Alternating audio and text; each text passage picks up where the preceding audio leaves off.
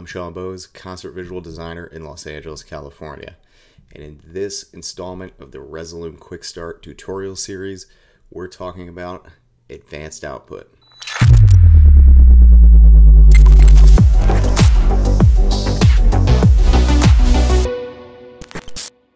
By the end of this video, you'll have an understanding of the advanced output and how to use it to map an LED stage. First, let's take a high level look of exactly what we're doing and why we're doing it and define a few terms along the way. So we have our normal 16 by 9 content, but we have a stage design with a bunch of different LED screens of different shapes and sizes. To do that, we're going to use the advanced output. First, we're going to create a bunch of slices that represent the different parts of our LED stage design. Then we'll rearrange them in our output map to match the arrangement of the pixel map. This is the arrangement that the LED processor needs in order to know which slice to send to which screen. Then we're going to rearrange those in our input map so that they sample different parts of our 16 by 9 content. To demonstrate, I'm going to use this stage design from Wasteland, a festival that I performed at a few months ago. Let's jump into Resolume and try it out. Alright, so we are in Resolume and we are going to go to the output menu and select advanced. That's going to open up our advanced output dialog. You'll see there's two tabs, uh, the input and the output and we're going to start in the output transformation. This is where we're going to set up our pixel map and all of our slices. So under output guide over here on the right, we can load our pixel map.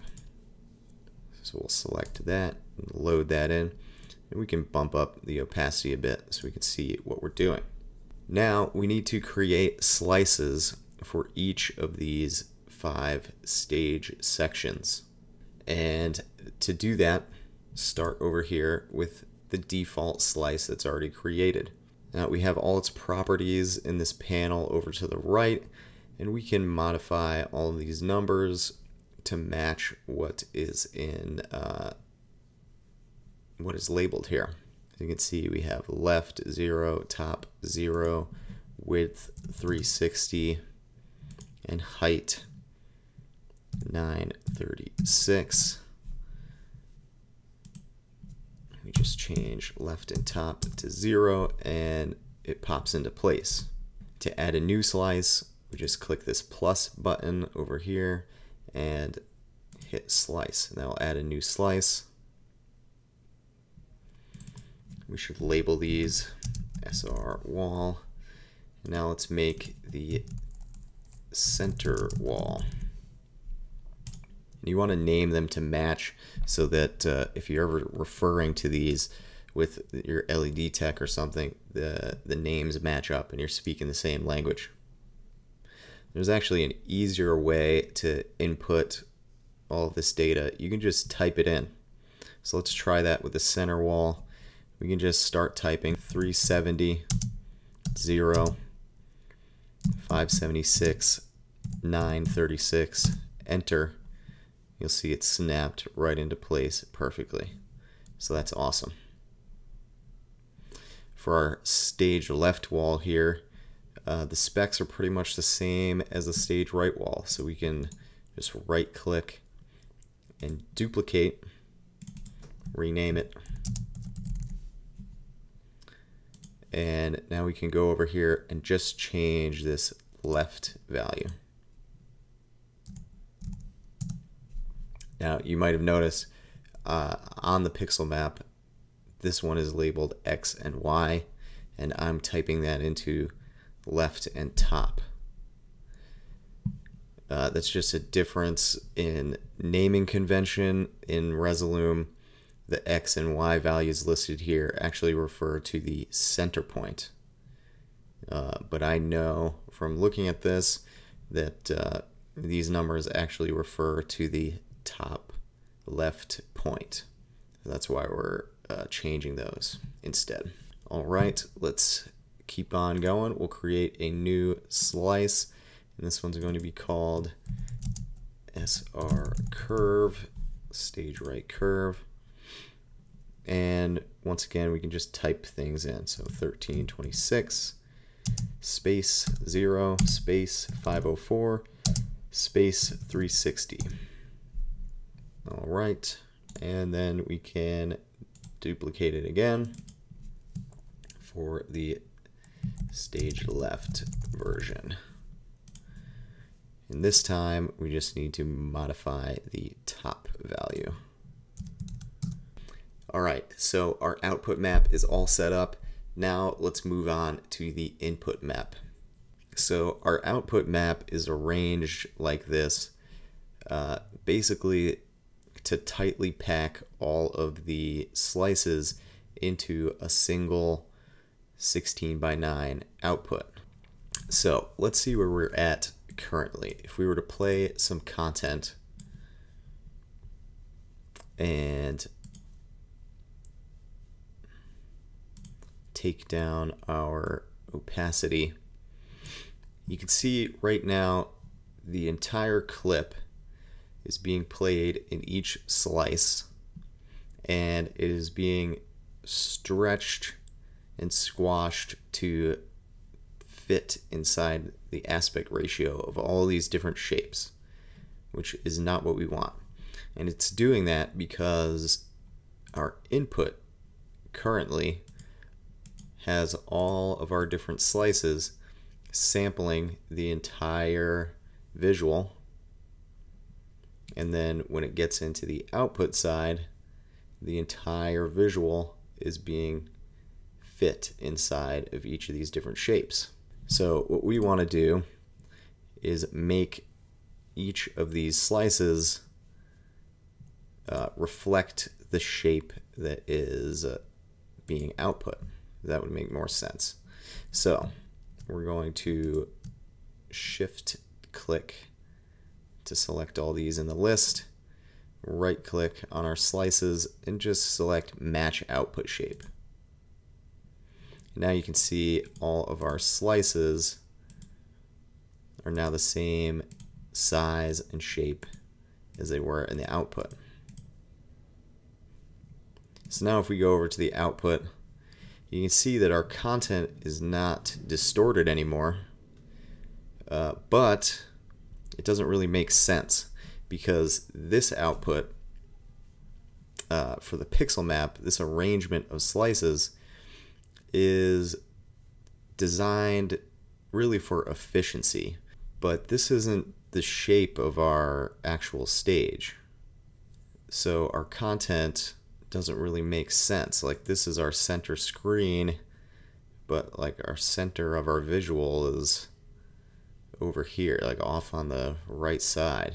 So we need to fix that, and that's what the input map is for. On the input map, what we're going to do is rearrange all of our slices to match their physical orientation uh, in, on our stage design.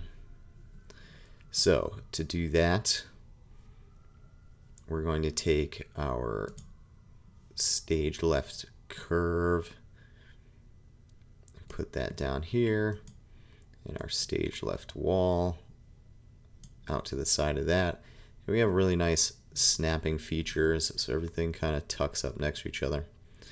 And uh, we can take our stage right curve and control click to select multiple slices. Mm, it's not what we want.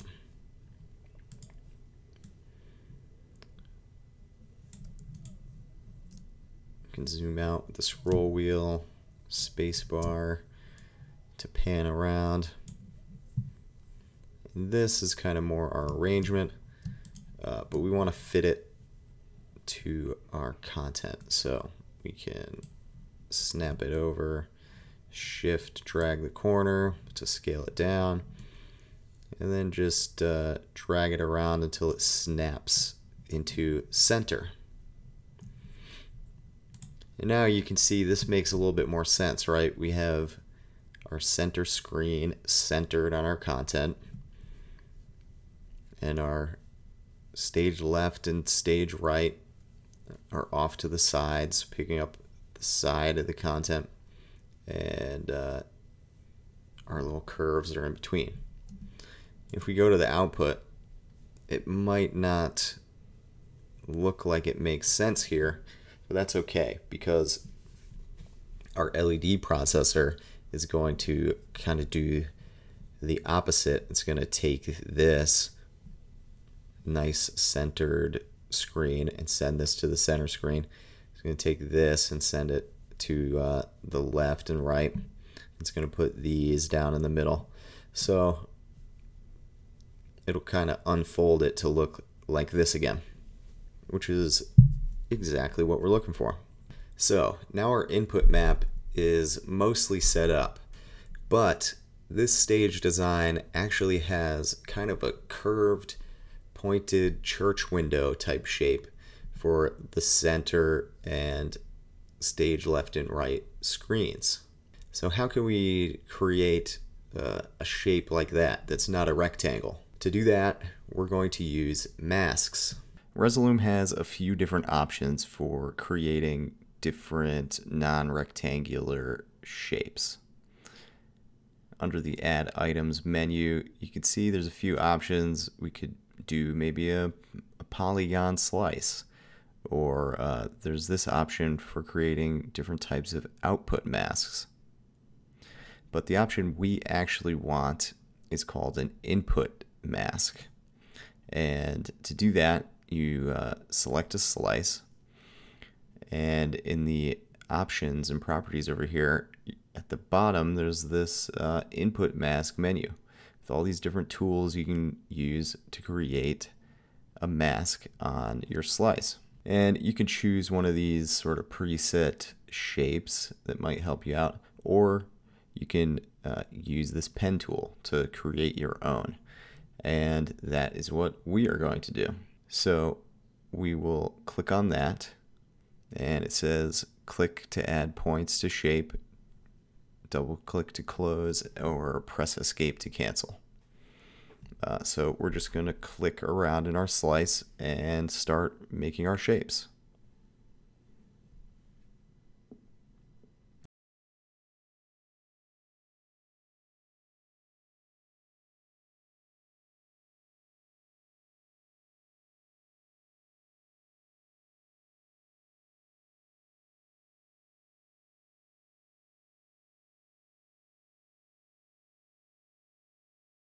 But this is all straight lines, and we need these to curve.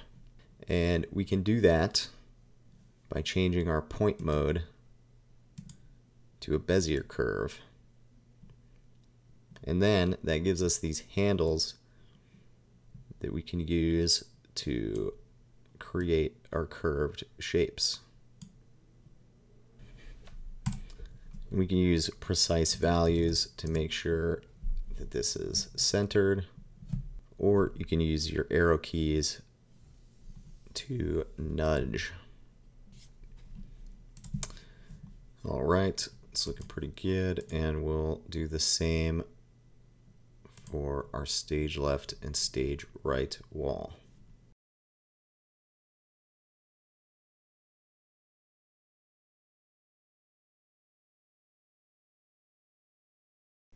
All right, again, switch to Bezier curves. Bezier, Bezier, Bezier.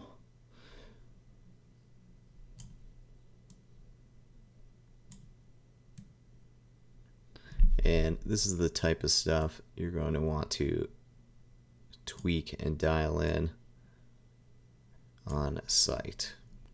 And since these walls are symmetrical, we can go ahead and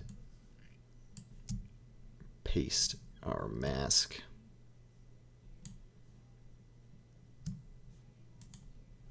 And just move it over. All right, so that is how you map an LED stage using advanced output inside Resolume.